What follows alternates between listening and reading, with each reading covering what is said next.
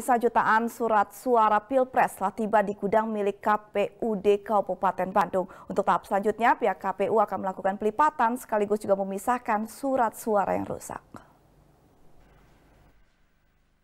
Sebanyak 1.840.567 surat suara untuk Pilpres tiba di gudang penyimpanan milik KPUD Kabupaten Bandung di Kecamatan Soreang. Sebelumnya, jutaan surat tersebut diambil langsung dari pihak percetakan di Kudus, Jawa Tengah dengan menggunakan satu unit truk yang dijaga ketat oleh pihak kepolisian. Setibanya di gudang KPU, seluruh surat suara akan segera dilakukan pelipatan serta pengecekan guna mengetahui seberapa banyak jumlah kekurangan dan jumlah surat suara yang rusak. Selain dikirim ke gudang KPUD di kawasan Soreang, beberapa surat suara pun didistribusikan ke gudang KPUD lainnya di Sorokan Jeruk yang nantinya akan didistribusikan ke tiga dapil. Menurut Ketua KPUD Kabupaten Bandung Agus Baroya, pihaknya menargetkan pelipatan surat suara selesai empat hari.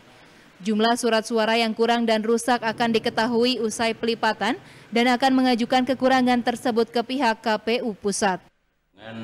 2 persen dari uh, kebutuhan suara uh, per kabupaten. Sebab kalau kita hitung 2 persen berbasis TPS itu kita kebutuhannya 2.413 uh, berapa tadi? 2.413 036 kalau nggak salah sehingga ada kekurangan 5.136 kurang lebih uh, ini pun sebelum belum final karena yang 2.407.873 ini kan akan kita sortir jadi nanti berapa realnya yang bersih atau yang baik yang bisa digunakan itu nanti langsung kita hitung selisihnya dengan kebutuhan yang 2% eh, berbasis TPS. Jutaan surat suara yang tersimpan di gudang KPUD Kabupaten Bandung mendapatkan pengawalan ekstra dari Kepolisian Resor Bandung guna menghindari terjadinya hal-hal yang tidak diinginkan. Rezi Tia Prasaja, Bandung TV.